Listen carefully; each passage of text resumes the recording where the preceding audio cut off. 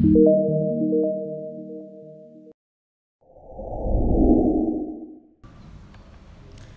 بالله من الشيطان الرجيم. بسم الله الرحمن الرحيم. الحمد لله رب العالمين وأفضل الصلاة وتم التسليم على سيد الأنبياء والمرسلين سيدنا ونبينا وحبيب قلوبنا أبي القاسم محمد. وعلى آل بيته الطيبين الطاهرين وعلى جميع الأنبياء والمرسلين. السلام عليكم ورحمة الله وبركاته. تقبل الله أعمالكم بأحسن القبول. في قراءتنا في هذه الليلة من كتاب أعيان الشيعة من المجلد العاشر عندنا شخصية تحمل لقب كشاجم. لقب غريب شوية راح نعرف شنو هذا كشاجم. هو أبو الفتح محمود ابن الحسين ابن السندي بن شاهك الرملي المعروف بكشاجم المتوفى إما سنة 350 هجرية أو 360 هجرية. اللي كان مثبت معاي وأنا أقرأ الاسم أكو اسم كذي يرن رنة السندي بن شاهك. كلكم تعرفون السندي بن شاهك منو هو؟ هو سجان الإمام موسى الكاظم عليه السلام. هذا جده جد كشاجم محمود ابن الحسين ابن السندي ابن شاهك. طيب. نعم. حين نقول إن شاء الله باكستاني. طيب. بالتالي من يقرأ اسم هذا الشخصية اللي هو شاعر في الواقع يتفاجأ بأن جده هو السندي ابن شاهك الذي تولى سجن الإمام الكاظم عليه السلام وشدد عليه في سجنه وعلى يديه أيضا استشهد الإمام مسموما طبعا بأمر هارون. السندي بن شاهك كان مدير شرطة الخليفة العباسي هارون ووصف بأنه كان مطيعا لأوامره قاسيا على من عاد هارون أو أمر هارون بمعاداته. فكان ولاء لهارون شديد وعنيف. حتى لو كان هذا الذي وجه نحوه كان من أقارب هارون أو من أولاده أو من وزرائه. السندي بن شاهك شاهك اسم الأم وليس اسم الأب. وكان لقيطا يعني تم أخذه وهو صغير وأمه سبية من السند والسند إحنا قلنا أكثر من مرة جزء من باكستان حاليا وفيها مدينة كراتشي المعروفة. فأمه من هناك أصلها. قيل شكل منصور طبعا هذا الكلام كله مو موجود في أعيان الشيعة. أنا جبته لمجرد أن ناخذ فكرة وبعدين ندخل بعض المقاطع ناخذ من أعيان الشيعة. قيل شكل منصور لأحدهم أبو جعفر المنصور ضعف حجابه.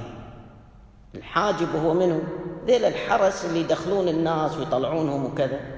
فقال له هذيل مو شديدين يعني. فقال له استخدم قوما وقاحا. ناس وقحين يكونوا. قال ومن هم؟ قال اشتري قوما من اليمامة. اليمامة إحنا نعرف وين؟ في وسط المملكة العربية السعودية حاليا. اشتري قوما من من اليمامة فإنهم يربون الملاقيط. يشوفون اللقطاء هذيلا أيتام؟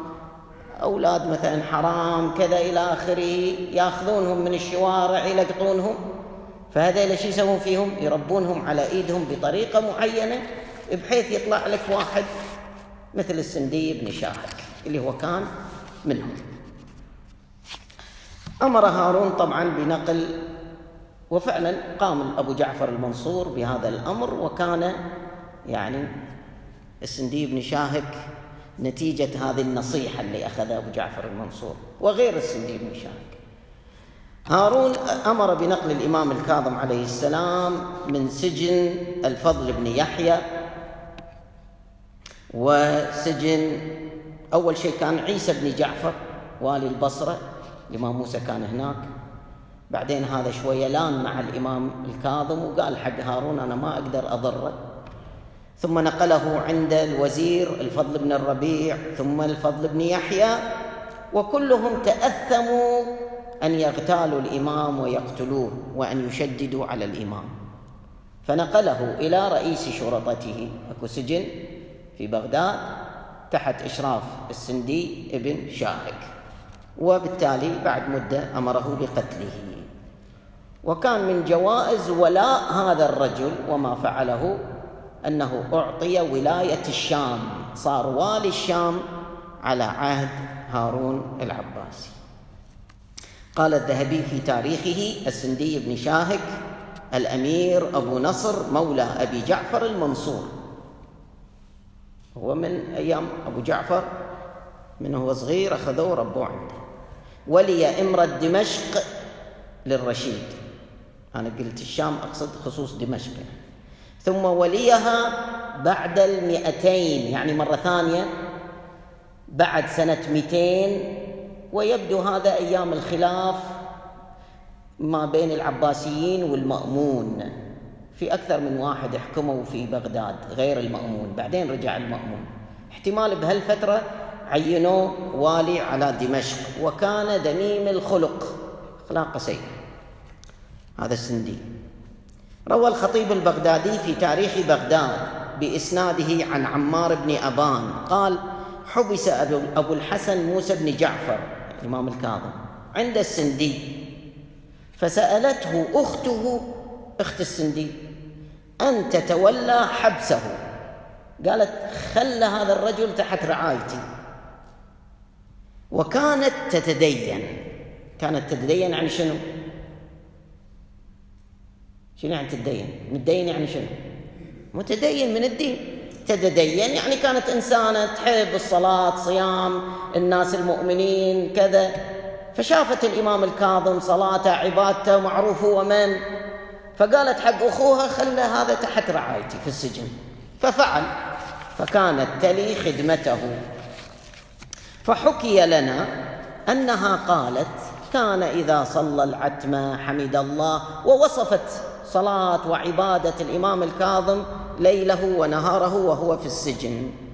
فكانت أخت السندي إذا نظرت إليه إلى الكاظم قالت خاب قوم تعرض تعرضوا لهذا الرجل وكان عبدا صالحا. هذا انطباعها وكلامها. طيب.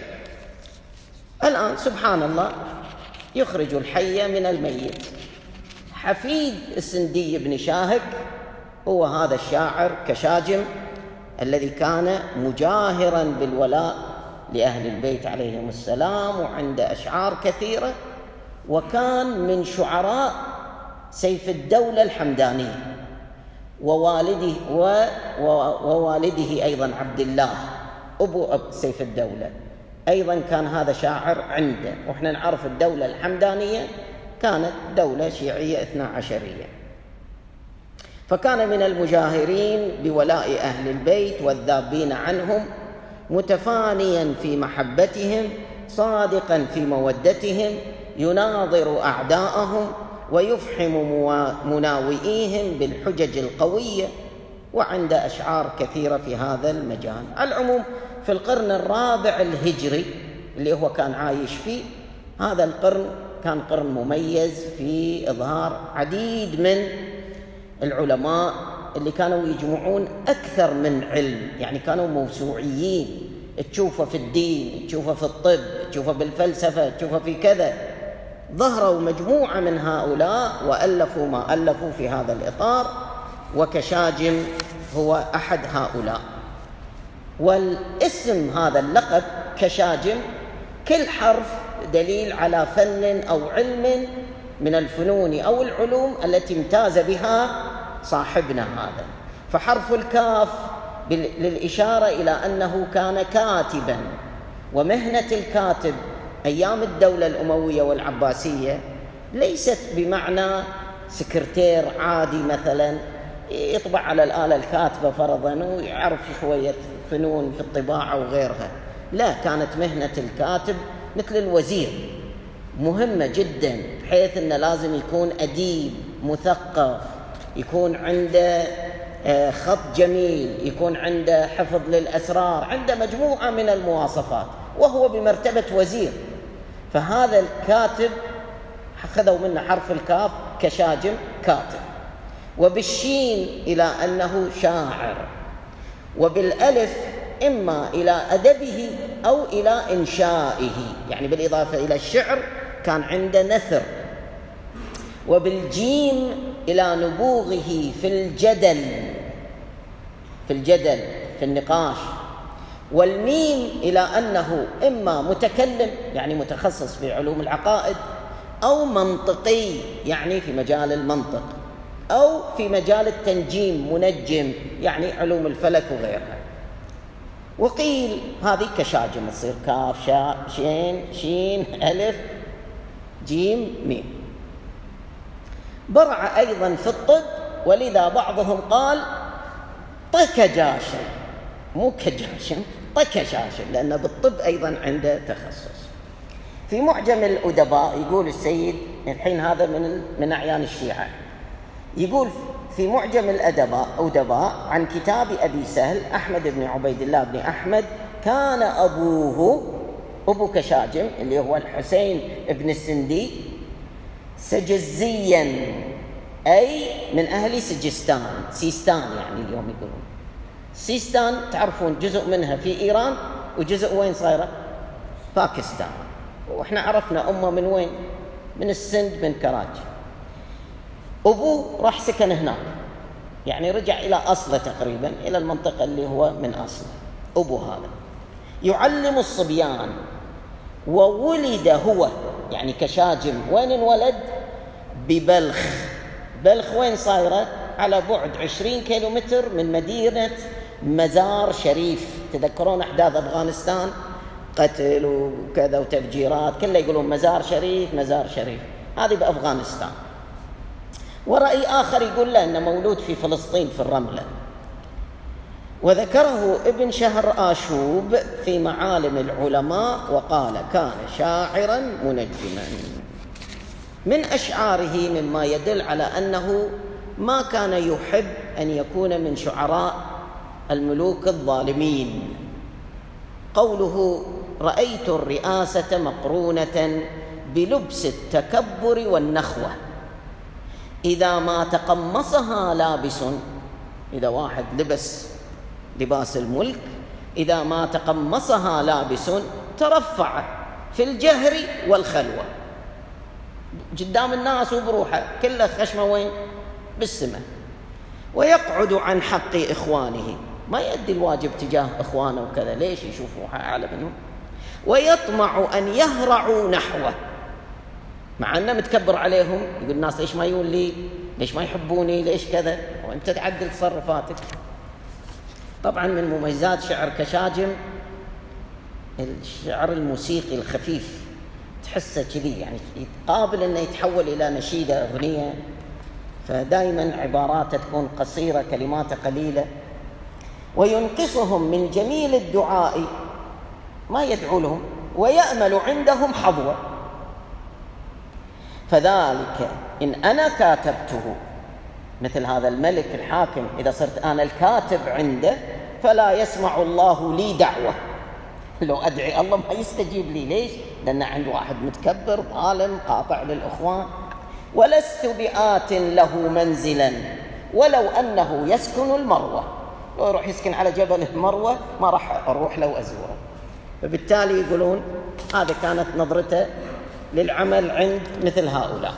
الآن من قصائده في شأن الأئمة عليهم السلام هم حجج الله في خلقه ويوم المعاد على من خذل ومن أنزل الله تفضيلهم فرد على الله ما قد نزل فجدهم خاتم الأنبياء ويعرف ذاك جميع الملل ووالدهم سيد الأوصياء ومعطي الفقير ومردي البطل.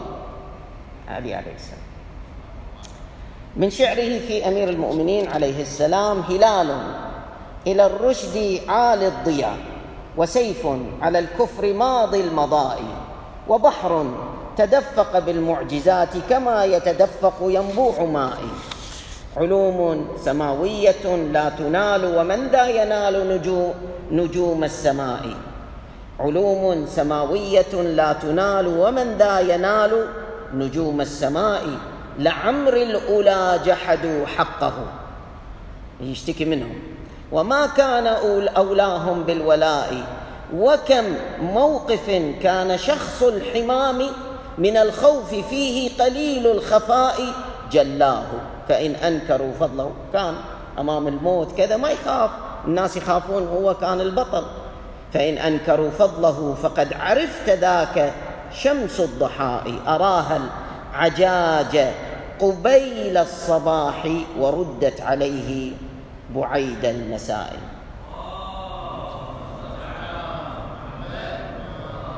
يعني بعدين اللي صار في صار اللي صار لأمير المؤمنين ما صار في وقت متأخر هو نتيجة ماذا؟ ما أراهم من الغبار العجاج في ساحات المعركة. أراها العجاج. قبيل الصباح يعني فجر الإسلام وردت عليه بعيد المساء. بعدين رجعوها له أحقاد بدرية وخيبريه آل النبي هذا غير شعر آخر. آل النبي فضلتم فضل النجوم الزاهرة وبهرتم أعداءكم بالمأثرات السائرة ولكم مع الشرف البلاغة والعلوم أو والحلوم الوافرة. وإذا تفوخر بالعلا فبكم علاكم فاخرة هذا وكم أطفأتم عن أحمد من نائرة. بالسمر تخضب بالنجيع وبالسيوف الباترة. تشفى بها أكبادكم من كل نفس كافرة. ورفضتم الدنيا لذا فزتم بحظ الآخرة. له رثاء عدة رثاءات للحسين عليه السلام قصائد عديدة في رثاء الحسين. أجل هو الرزق جل فادحه باكره فاجع ورائحه. لا ربع دار عفا ولا طلل أوحش لما نأت ملافحه. فجائع لو درى الجنين بها لعاد مبيضة مسالحه. يا بؤس دهر على آل رسول الله تجتاحهم جوائحه. بعضهم قربت مصارعه وبعضهم بوعدت مطارحه. أظلم في كربلاء يومهم. كلهم جمة فضائحه. لا يبرح الغيث كل شارقة تهمي غواديه أو روائحه. الآن ما أدري بالنهاية سكون حسب التشكيل اللي موجود ضمة اللي يعرفون بالشعر يعرفون أن آخر شيء لازم سكون أو ضمة. فإذا كنت غلطان مو ضمة يعذروني أهل الأدب. على ثرى حلة غريب رسول الله مجروحة جوارحه. إليكم أديت نصائحه ونال أقصى مناه كاشحه. وسيق نسوانه طلائح أحسن أن تهادى بهم طلائحه وهن يمنعن بالوعيد من النوح والملأ الأعلى نوائحه. عاد الأسى جده ووالده حين استغاثتهما صوائحه. لو لم يرد ذو الجلال حربهم لو لم يرد ذو الجلال حربهم به لضاقت بهم فسائح. لو الله ما يبي تصير المعركة هذه كان منعها. وهو الذي اجتاح حين عقرت ناقته إذ دعاه صالحه. نبي صالح دعا لمن عقرت الناقة فالله اجتاح القوم كلهم دمرهم. كان يقدر يدمر هؤلاء. يا شيع الغي والضلال ومن كلهم؟